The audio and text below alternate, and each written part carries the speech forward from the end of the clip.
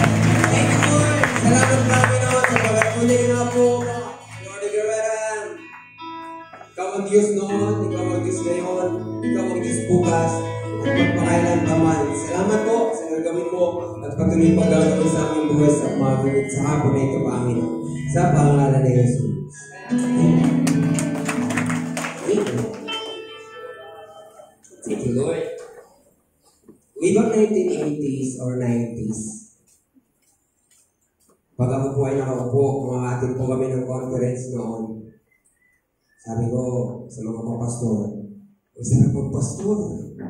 Disciple pa lang kami noon. We are only disciple workers in the church.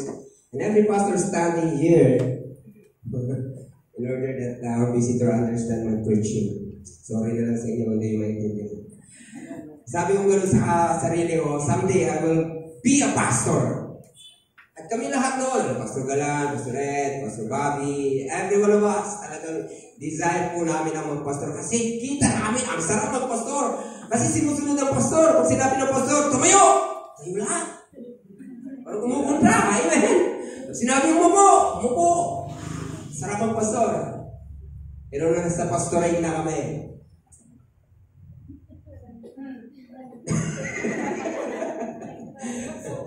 Mga dalawa, tatlo, apat, lima, anim na taon kami nagpapastor. Medyo nag-iba ang simoy ng hangin. Medyo naramdaman na ang hirap magpastor. Kaya mayroong mga sumuko, mayroong matras, mayroong hindi nagpatuloy. Para kung istorya noon, yung kalabaw, pastor ka, ayun si kalabaw. Kasi naramdaman yung pakinggan yung testimony ng pastor, ng kalabaw na napakahirap magpastor. Walang pera, sasakyan, walang bahay, walang lupa, lahat. Kaya ayaw magpastor ng kalabaw. At tumakbo yung kalabaw, umalis. Pero ngayon, bumalik na yung kalabaw, gusto nang magpastor. Bakit? Eh, Koreano na eh.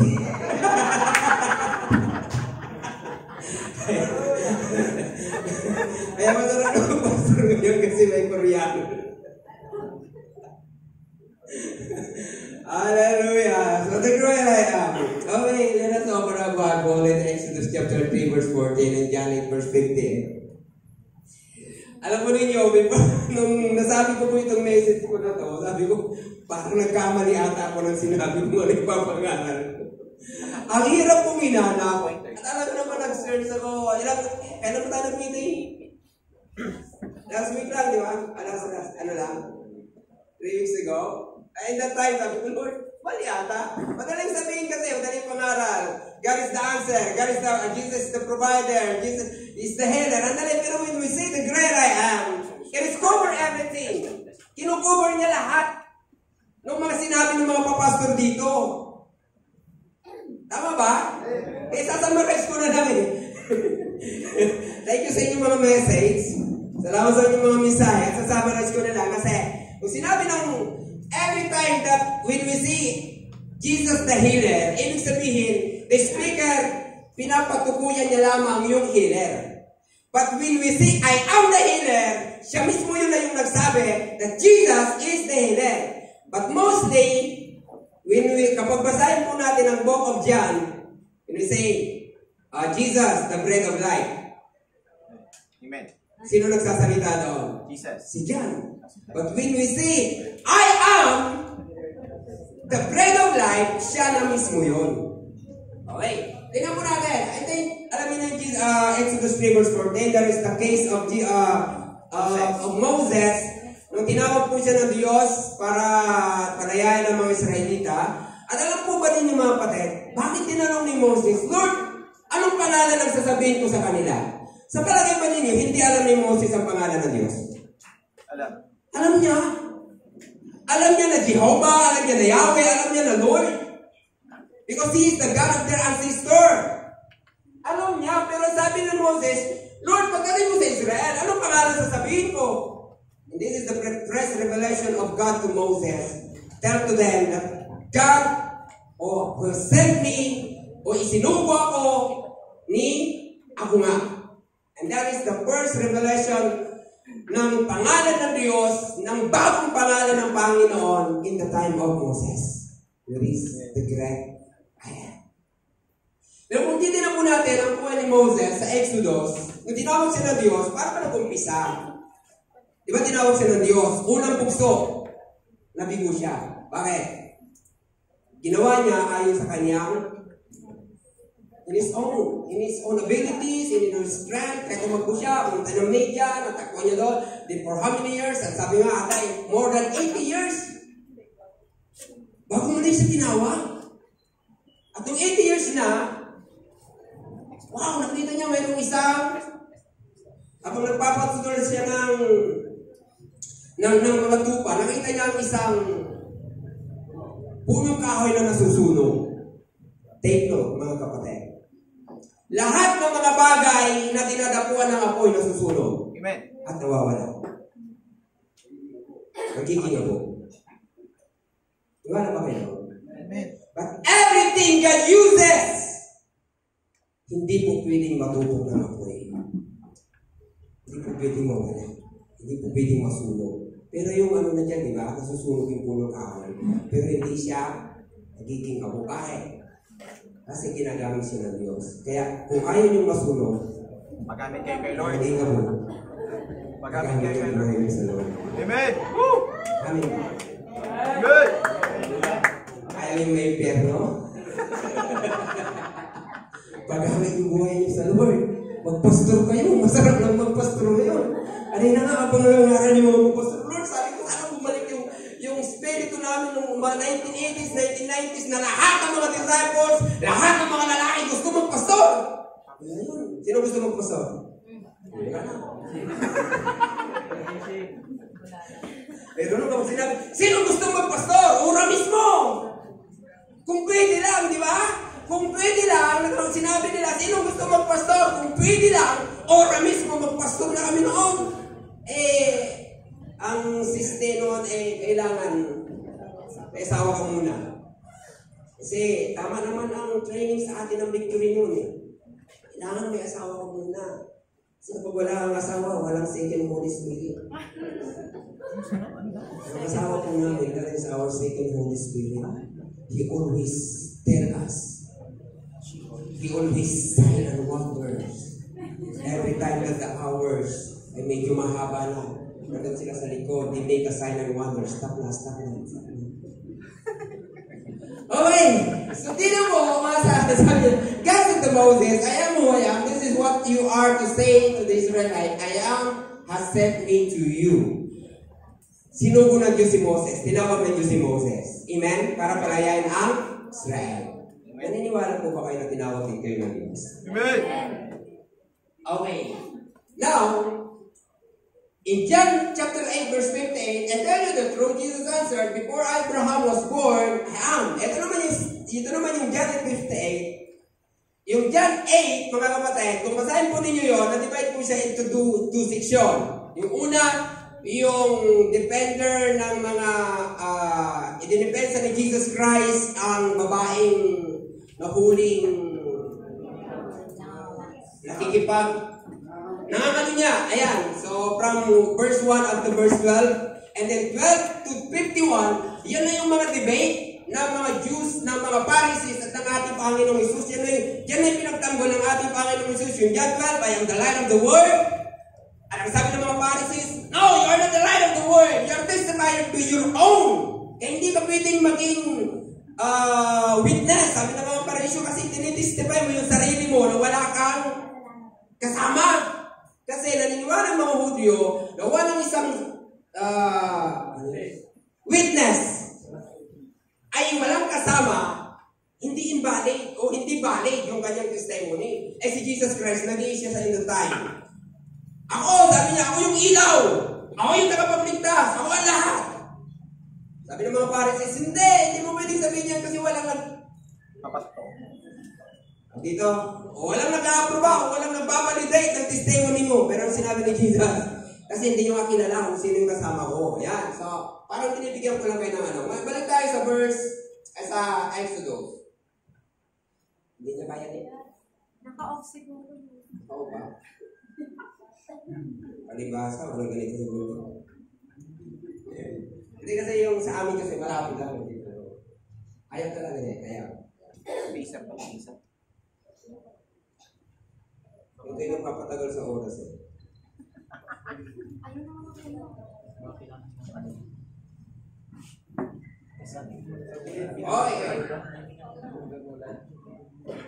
Sino may gusto nito? Ayan na. Ayan na. Pagkatapos ko, Pastor. Pagkatapos ko, bibigyan ko sa'yo. Meron pa ako isa doon, di ba? Ay, wala na. okay, kailangan.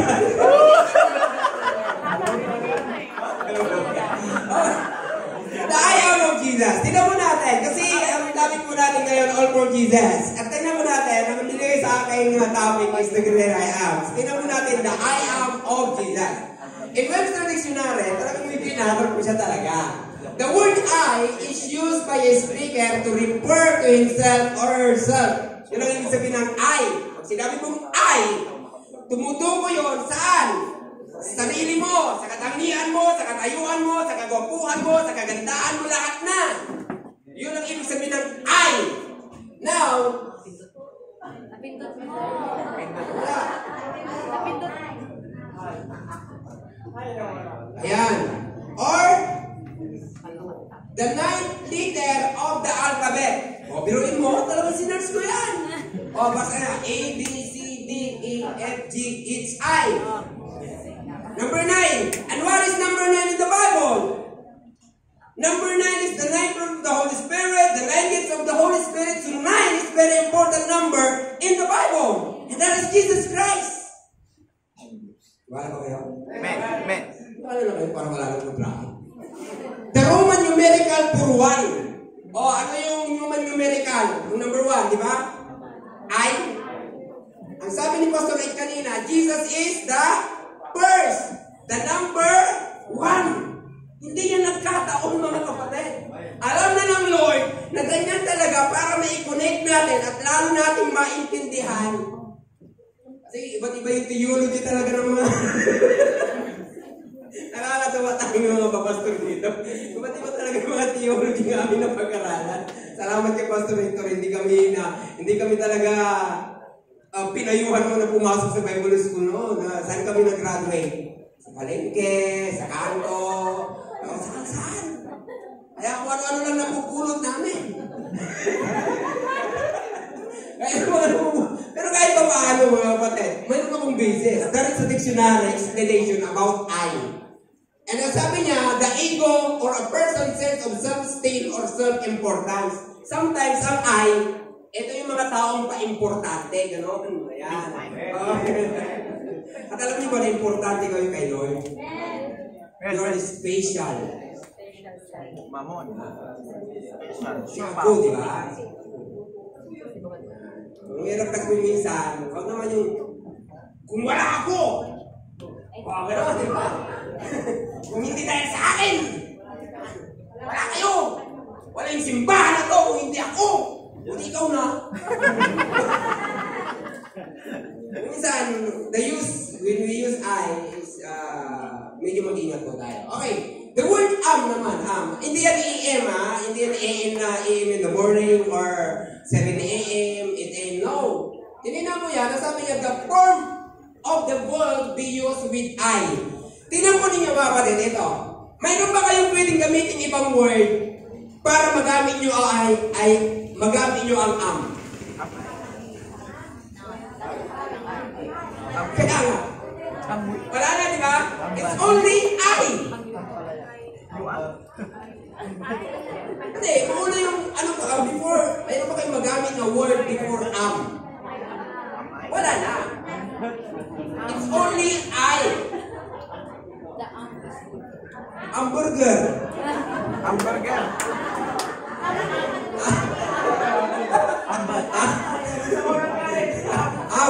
Sabaw ng kanin. Am.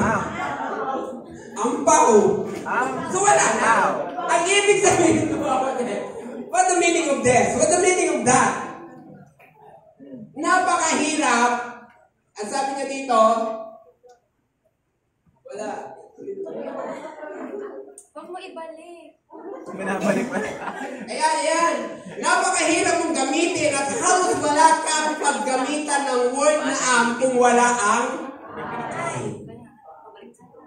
Pero kay Jesus, walang mahirap. Kaya nga yan ang ginamit niyang pangalan, I am. Kasi walang pahirap kay Jesus. Kawad na. Yun lang, gusto ko.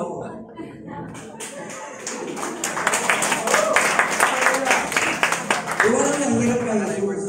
Eh, ang hirap. Di ba alam ni Jesus, darating ang araw, maraming mahihirapan. Alam ni Jesus, pag darating ang araw, ang iba sa atin, kaya tama yung sinabi ni Pastor kagabi na, ayun, mamamatay tayo lahat. Di ba? At napakaganda na yung mamatay ka na ngayon, kunin ka. o kunin ka na ni Lord ngayon. Kasi baka mag-backslide ka pa eh. Di ba? Baka mag-backslide ka pa. Ano ibig sabihin dito mga kapatid? Alam ni Jesus Christ na darating ang araw, marami sa atin, naranas sa buhay in order to test us kung talaga bang tayo nagtitiwala at maglilingkod sa Panginoon in spite of everything na ma-encounter natin sa ating buhay. Ngayon, kung kulang yung ating pagkaunawa at pagkakilala sa ating Panginoong Isus, eh mahirapan talaga tayo. Kaya sabi ni Moses sa kanyang salita, sa kanyang, Panginoon, anong pangalan? Sabihin ko sa mga Israel, pagdating ko doon, kilala na ni Moses si Lord. Alam na, na alam na ng pangalan ni Moses ni Lord, Jehovah, Yahweh. Pero ano pa? Dito po mga kapatid, makikita natin yung talagang pananaliksik ni Moses na gusto niya, bago siya pupunta mangaral, alam niya kung ano ang kanyang Sinasabi. Kuha niyo. May kasi tayo kung minsan, masyado tayo mga eh. Para-bara. Excited. Maalala ko noon. Talagang buta kami ng breaking.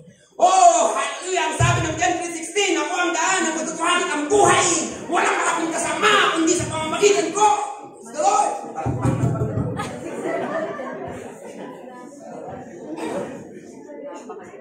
Hindi na lang, walang Kristiyano doon. Kung may Kristiyano doon, may nalubas sa Biblia doon. Pwede, medyo, di ba ano tayo minsan? Pero dito si Moses, magagandaan kay Moses. Si Moses kasi marunong din naman, eh, matalino naman si Moses, di ba? Kasi nag-aaral siya, matalino siya. Meron mo talagang binigyan niya ang buhay niya kay Lord. Everything he possessed, his knowledge, his worldly knowledge, lahat ng kanyang kaalaman, lahat ng kanyang mga tulong na, na, na napag-aralan doon sa Ehipto, nung tinawag siya ng ating Panginoon Lord, oh my, ito, wala na ako. Eh, sino ako ngayon? Ano ako ngayon? Eh pagdating ko doon, paano ko sila mapapaniwala na talaga ikaw ang Diyos? Yan ang sabi ni Moses. Eh tayo, kung minsan, gusto natin yung mga tao sa paligid natin, gusto natin mapaniwala na, na ang ating Diyos ay talagang siya ang Diyos na, na ating pinaglilingkuran, ay Diyos na nagmamahal, Diyos na nagpapatawad. Eh paano natin siya pinapakilala? Kung minsan meron tayong nilalapit ng tao, sa halip na lumapit kayo, lalo napapalayo. But Moses, nanigurado siya, Lord, please. He asked, sabi niya,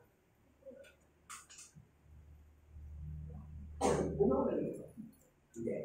Sabi niya, the call of Moses to deliver Israel. So, ang dami po rito, yung una, yung nasabi ko sa inyo kanina, yung the appearance of angel, ito yung pag-appear ng Lord o doon sa burning bush, doon sa nasusugang kakawal para tinawag ng Diyos si Moses. Ngayon, para mapatunayan yung na tinawag mo yun ng Diyos, kailangan ko ng munang lilihan. And that is the Holy Ghost. Amen. Kasi, baka na kayo tinawag, ano kayo? Pwedeng tinapot para sumunod, tinulak para sumunod, o lahat na.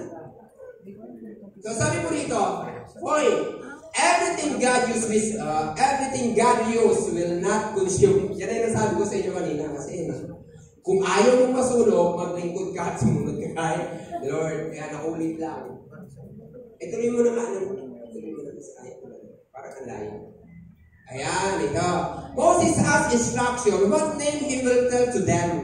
Biruin mo mga kapatid. Alam na ni Moses, Lord, ano pa pangalan mo pagdating mo doon? Bakit ito sinabi ni Moses? Bakit siya nag-pray kay Lord? Kasi, alam ni Moses, he pursued the difficulty in dealing with Israel, how to deliver them. Nakita ni Moses yung kahirapan para i-win yung kaluluwa ng mga Israel. Tayo kung minsan, ay, yung ano na yan, yung tao na yan, lasinggiro yan, babaero yan, sugarol yan, talagang hindi na magbabago ang buhay yan. Ganon kung minsan yung pananaw natin as a human. And even Moses, in the time, he pursued the difficulty kung paano po niya mawin yung mga Israel. Bakit? Kasi tinan po ninyo mga kapatid. Israel grow ignorant with God. Naging ignorant ba ang Israel? Yes. Yes. Bakit sila naging ignorant? Tuloy mo ah. 40 years, they are slave. At walang nangangaral ng Diyos sa kanila. Sino ang nakabulatan nilang Diyos? Yung mga Diyos doon sa Egypt. At ang daming Diyos doon. Kaya ito si Moses, Lord, sabi niya, pagdating ko doon, ang daming Diyos doon. Kaya paano ko mapatunayan na ako'y tinawag mo para sila'y palayain at anong pangalan ang sasabihin ko sa kanila para sila'y maniwala at hindi sila maniwala doon sa Diyos ng mga Egypto. Moses pursue the difficulties how to win the Israelite dahil sa kanilang kaignorantihan.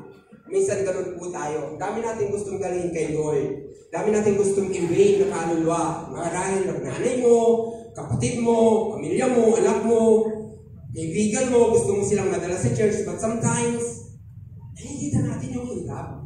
Diba? Nakikita natin yung obstacle, nakikita natin yung hadlang. Ano pa? They are unarmed. Wala silang, wala silang ano, wala silang sandata. Kasi alipin nga sila eh.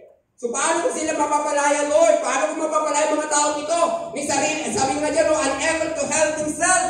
May sarili nga nila, hindi nila kayang tulungan. At sabi po dyan, these are the picture of people have no Jesus in their heart. Pag-inisip natin, kapatid. That is it says. Dahil ang nais ng Lord, lahat ng mga Israelite, dalhin niya sa lupang kanahan. Amen? Lahat ng Andanias, naniniwala po ba kayo na gusto ng Lord dalhin niya sa kanyang kaharian? Sino ang Moses dito? Sino gusto maging Moses? Before you go to that place, sa mga tao yan, you need to be ready. Sabi niya, these are the picture people.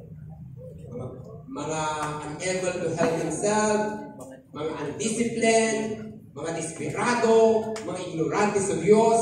Yan ang mga tao sa ating paligid na walang Kristo sa kanilang puso. At paano natin ipapaliwanag sa kanila yung Diyos na pinaglilingkuran mo, yung Jesus na nagbago sa iyong buhay, kung hindi po natin siya masyadong kilala sa ating mga puso? Eh baka kilala lang natin siya, katulad nga, tinanggap natin si Lord. But talaga bang tinanggap mo siya sa puso mo? Kilala mo ba siya talaga? Ganito po yan mga kapatid. Napakahirap pagtiwalaan ang isang tao na hindi mo kilala. Tama? Amen. Amen. Pero dali natin sabihin, I trust in you, Lord. I trust in you, Lord. I trust in you, Lord. The question is, talaga bang kilala mo na si Lord? O hindi pa. Kasi madali natin sabihin, I trust in you, Lord, when you are in the good situation. But how about in the bad situation? So itong si Moses, mga kapatid, Lord, sabi niya, please help me. Help me, turo mo sa akin. Yung sasabihin kong pangalan, ituturo mo sa akin ang tamang instruction. Ituturo mo sa akin ang tamang paraan kung paano kita ipapakilala sa madali at maintindihan ng mga Israelita, yung hindi komplikado. The word complicated, mga kapatid. Ang dami complicated ngayon. Di ba? Alam ko ninyo, meron akong isang leader, ah, leader in the church. Sinermonan niya ako. Kasi uh, kinonfront ko siya regarding sa doon sa kanyang ginawa na ang tingin ko sa Bible ay talagang nung nabasa ko sa Biblia, kasalanan yung kanyang ginawa. Pero nung kinonfront ko siya, babasahin pa niya ako ng ibang verses para i-justify yung kanyang ginawa na tama siya. Eh, palibasa, nag-aaral siya ng seminary. Eh, ako! How can I defend? Para sabi ko sa kanya, ganito yan, pastor. Ano po? ganito yan. Kapag ikaw ay umalis doon sa basic doctrine ng pananampalataya mo, you are in the danger. Nasa panganib ka. At ang sabi ko sa niya, ito na lang ang guarantee ko sa'yo. Once na ang mga tao tanggap ang ginawa mo, susunod ako sa'yo. But until now, ang tao hindi siya matanggap because ang kanyang ginawa ay isang labag at kasalanan sa harapan ng ating Panginoon. Kaya napakahirap yung lumilis po tayo sa BC. Kaya itong si Moses, Lord, please, give me the BC. Kaya, simple lang ang binigay ni Lord. Dalawang word. Ano? Ay? Um, di ba dali? Ngayon, tingnan natin. Whenever we have anything to do with God, it is desirable to know. Ito po yung sinabi. Ito yung prayer, ito po yung ah, nais na ang bawat daw gawin natin, kung gusto mong humayo, gusto mong mangharal, gusto mong, please naman. Ibig sabihin, aralin naman natin. Ibig sabihin, tingnan naman natin, ano ba ang tama? Para ka humuhuli ng isda lang eh. May isda na pwede mong humuhuli ng bulabugin mo. Biyasa dyan si Pastor Galan. Ano yung isda na yon? Bulabugin mo yung dagat, magtatago siya. Barangan. Di ba? Bulabugin mo. Ruhan, gano'n. o, di ba? Di ba? O, meron namang isda, natahimik ka, tatahimik din siya. Ano yun? Lapo-lapo, sinipon ko naman, alam ko na, kisiri pa niya naman. Kasi mangingisda kami ng Pastor Galan.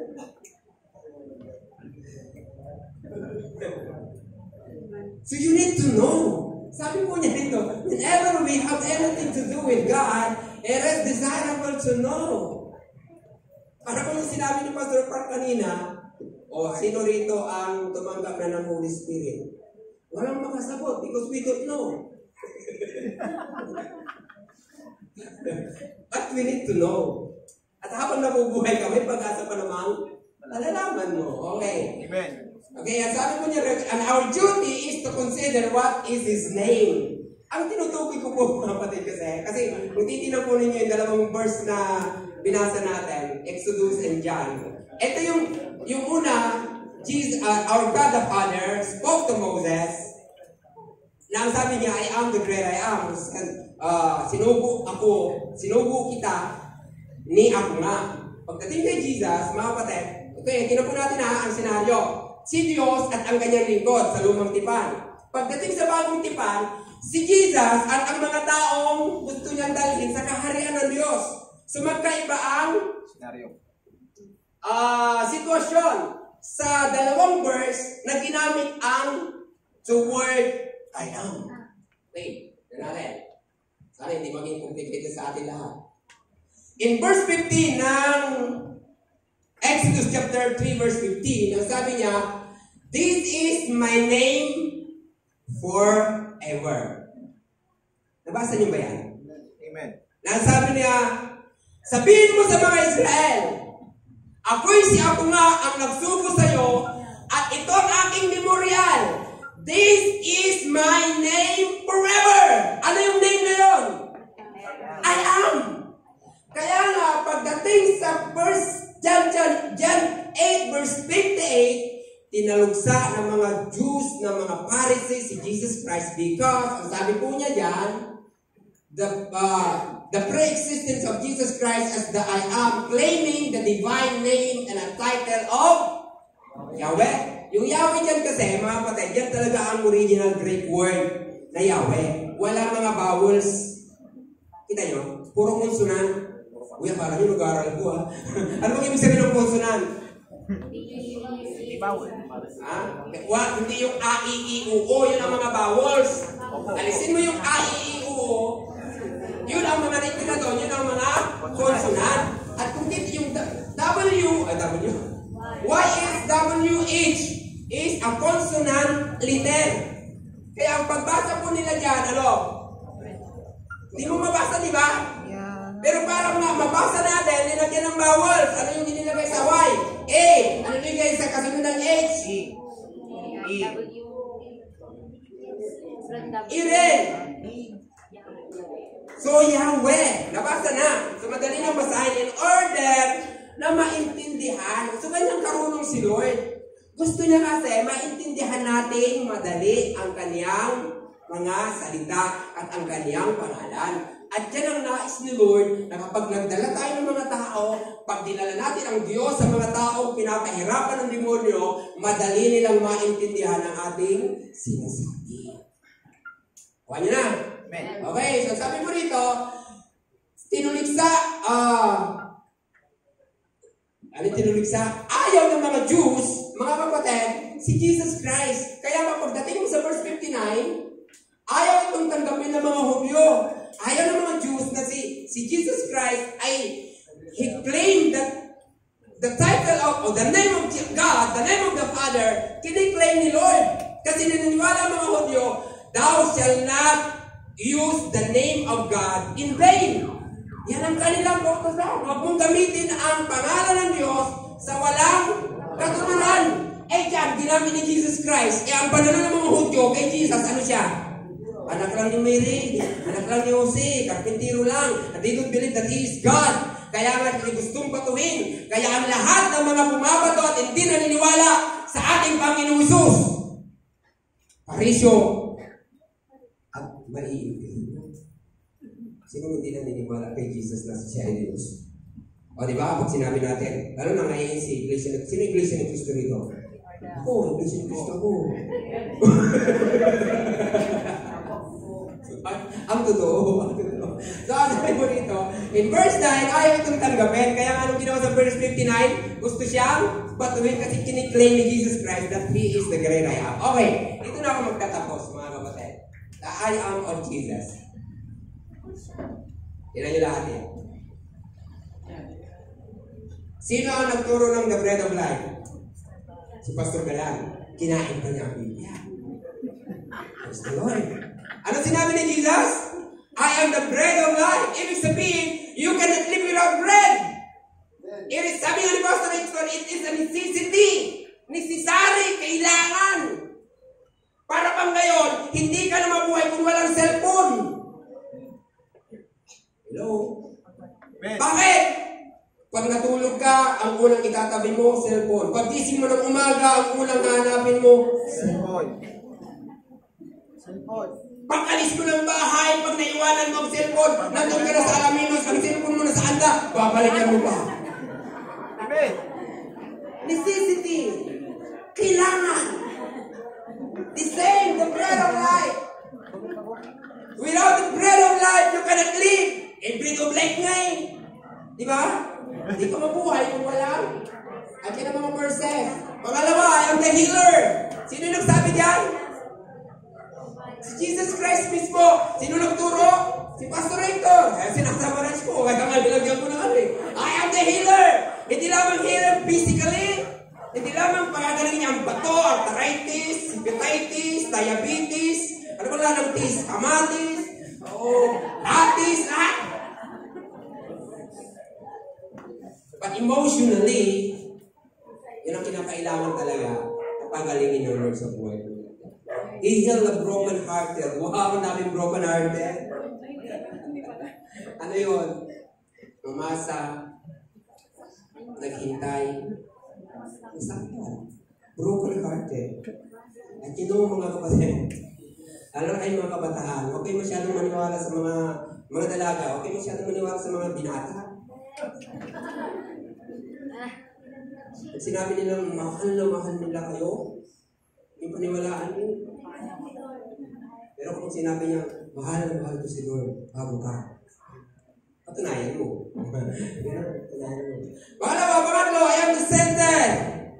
Anong ibig sabihin ng center? Sentro. Ibig sabihin, lahat ng kaisipan mo, lahat ng pananaw mo, lahat ng plano mo, lahat ng layunin mo, kailangan si, si Jesus Christ nandun sa sentro. Sino nagturo? Pastor Bobby. Di ba? Ginawa niya ng science yung ano eh. Yung sin synthesis eh. Ano ba ang sa sinsya? Science.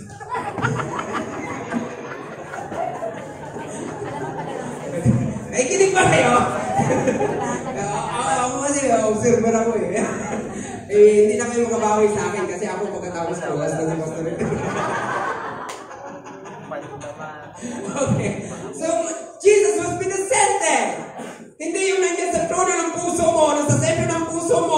boyfriend mo, si trabaho mo, si anak buhay mo. Kabalit, ang sabi po ng isang awitin, ang sabi niya, uh, kung meron ka daw mas mahal na iba, it is an idolatry. Kung meron ka mas mahal na iba kaysa kay Lord, it is an idolatry. Kaya huwag kang mas mahal, huwag kang magmahal ng higit kay Lord. Amen? Bakit Lord, sabi niya, I, ang apat, I am the Alpha. Wow! Anong ibig sabihin ng Alpha? It is the first alphabet letter in Greek. As tinuro yan ni Pastor Ed, ano yung Omega? It is the last letter alphabet of Greek. Oh. Kung sa atin, E, yung first at yung last ay Z. Kaya Jesus Christ is the God of A until Z. He is the God of the past, He is the God of the present, and He is the God of Diyos ng nakaraan mo, siya yung Diyos ng kasalukuyan mo, at siya yung Diyos ng panghinaharap mo. And then, I am the answer. Tinanong mo kanina kasi answer and provider. How difference? Paano yung diferensya ng answer and provider? Yan. Yan. Tinignan ko kanina sa dictionary. Sabi niya, the answer, tinuro ko ni Pastor Mamet. Talaga naman, God is the answer. Amen? The answer means, sabi niya, it is a reaction to. It is a reaction to a question to someone or something. Yun ang ibig sabihin ng answer. So, ibig sabihin, kapag tinawag, Ed! Bakit? O, yun ang answer. Amen. Ibig sabihin, may sagot. Amen. Amen. Tama ba? Amen. At alam po ninyo, bawat tanong nyo kay Lord, may sagot. Amen. Tama? Bawat prayer nyo kay Lord, mayroong sagot. Amen? Amen. Every time you pray, Lord, give me an airplane. May sagot si Lord. Anong sagot niya? No. No. Why? Wala kang You don't know how palitan. to pilot. You don't know. Wala pong airport dito sa kanta. No. Oh, sabi, bigyan mo Lord ako ng ah, motor. Wait. Sige. Wait. Pero maghintay ka. Wait.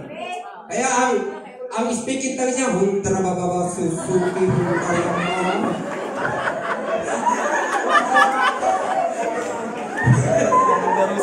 Kaya parang tuloy siya. Ang speaking tongues nila, Huntra yamama susuki huntra.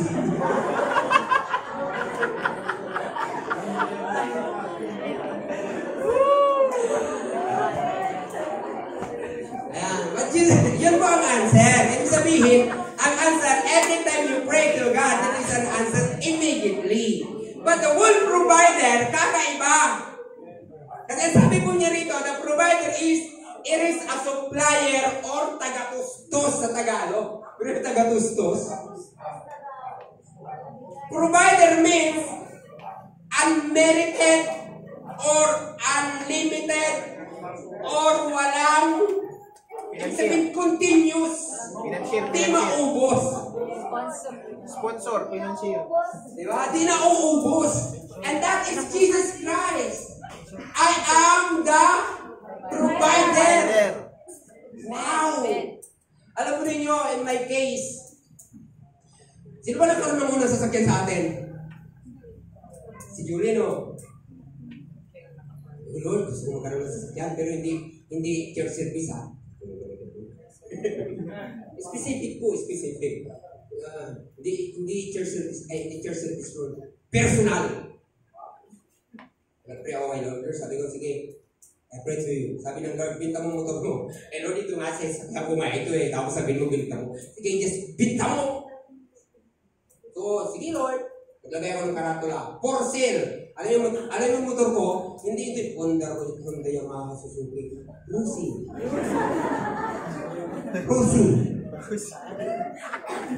Binit, lagay ko ng karatula, sa ano, for sale. Walang, walang ano, walang price. Sabi ko, Lord, sige. Ano yung binta mo? Pa, uh, pagbinta mo yan, sabi ni Mama, wala na rin tayo sa sakyan. Eh, pinabibinta rin, binta mo. Bibinta.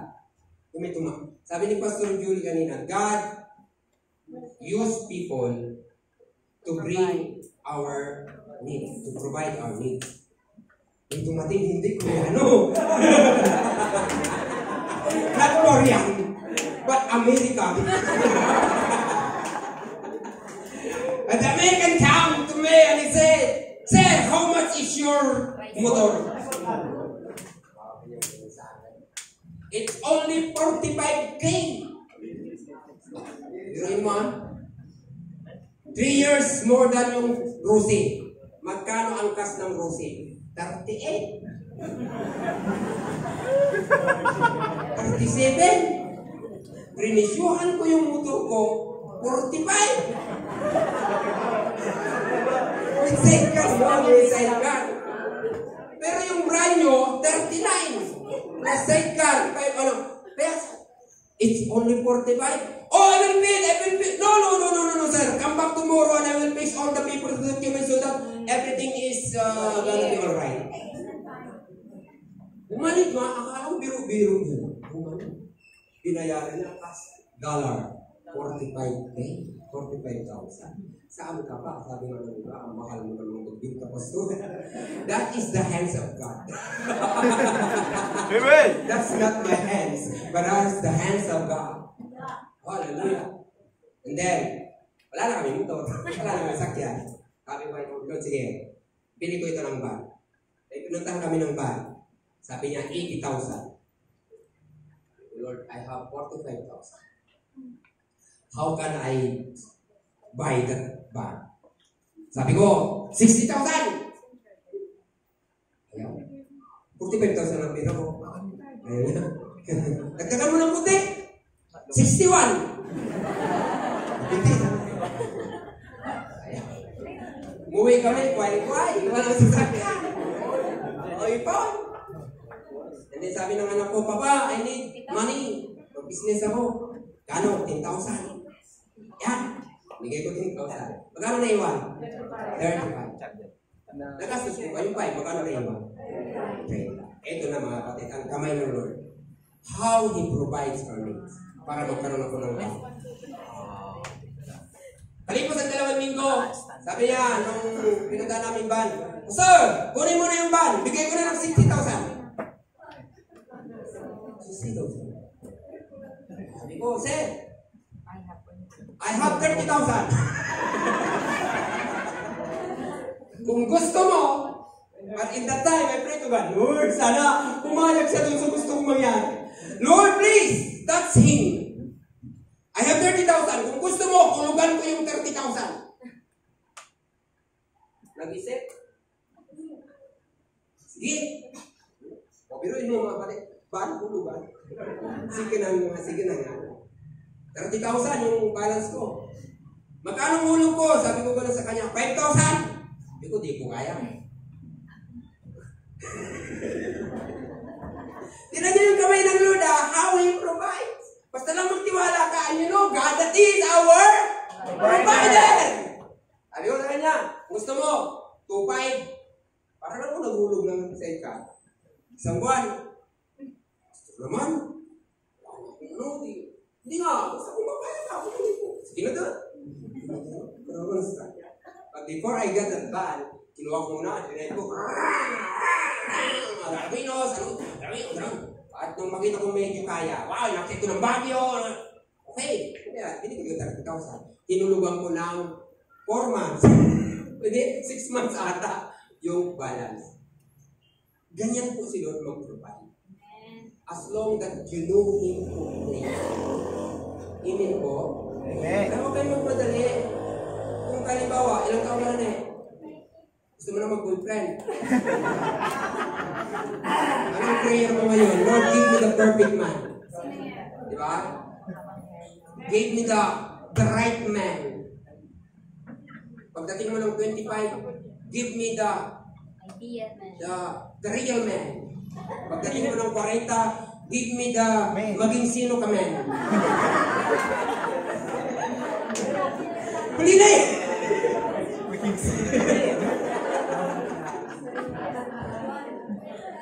Okay, I am the provider. And lastly na siguro, I am the way. Ayan, wala yung the way. Ah, alam niyo na yan, I am the light. The word light yan, dyan mga kapatid. He, he is only give you the light in order to see. Makita mo yung daan. Sabi nga ni Pastor Victor sa post niya, pag binagyan mo ba ng kandila, Iyong puntod. Doon, maki, maki, di ba maliliwanagan pa ba yung post, di ba? Nabasa ko yung post niya. eh. Maliliwanagan pa ba yung kaluluwa ng patay? So it is useless. Ang light na tinutukoy po dyan mga kapatid, ang sabi niya, He gave us the light. And according to Psalms, the, your word of God is a lamp where? To my faith, lamp eh, lamp. Anong ibig sabihin ng lamp? Lampara. Hindi flashlight. The word lampara, gamitin mo yan saan? Sa pangmalapitan lang in order you know what is you're going to stick, stick, no. Yes. You know what is no and what is yes because you have a light and you you you have a word. Amen. Ngayon kung wala kang word of God, nasa dilim ka. At hindi mo alam yung yes, no, yes, no. Puro no, mamaya nakaapat ka pa, tayo ng aso, tayo ng tao, kaya pangin na pala. So, Jesus is the light. I am the li- number nine, I am the living stream. Ay, living streams. The living water.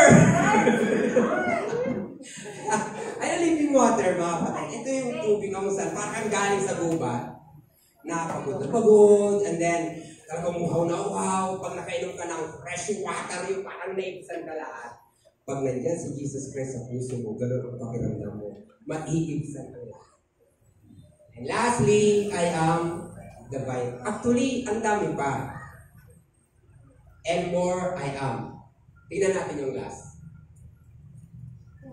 We are great. Why we are great? Kasi pwede namang sabihin ng ibang tao yung mga bagay na napag-aralan natin una. I am the provider, I am the answer, pero walang great.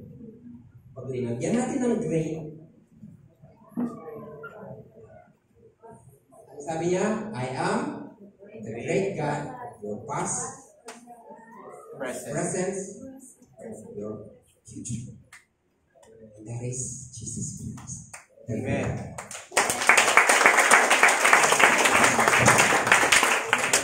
Salamat po Panginoon sa iyong mensahe o Diyos. Maraming pang bawal isa sa pangalan ng Jesus. Amen. Amen.